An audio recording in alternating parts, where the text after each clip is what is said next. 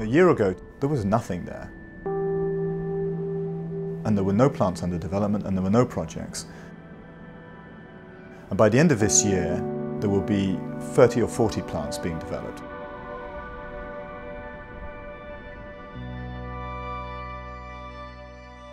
Benban is important both for what it is now, what it will deliver itself, but also for what it, it shows can be done, for the way it opens the door to something really significant, a really massive penetration of renewable energy.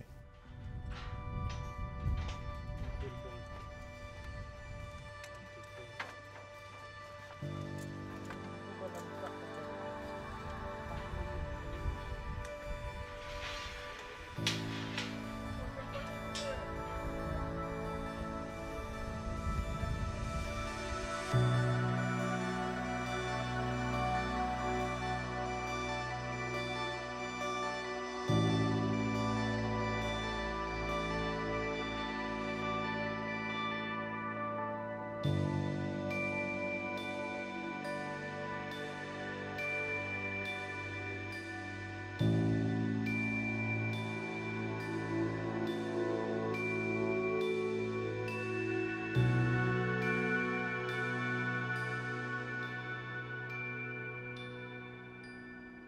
طبعا ال- ال- الطاقة الشمسية تكنولوجيا حديثة لمحافظة تمعان بس آه، يعني أدخلت شيء اقتصادي ممتاز للمحافظة م- وتكنولوجيا حديث الكل يعني بيستغرب شو يعني شو المجمع الشمسي شو الطاقة الشمسية شو إنتاج الكهرباء بمحافظة تمعان برضو.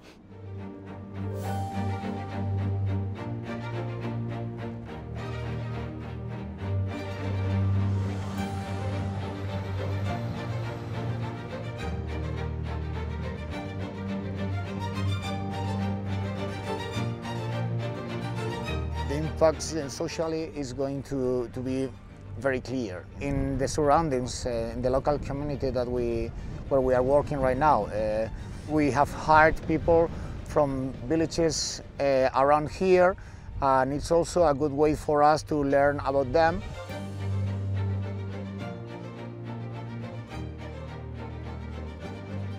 Much of the news about climate change is disappointing, is frustrating. You know, we're not achieving some of the goals we set out to do.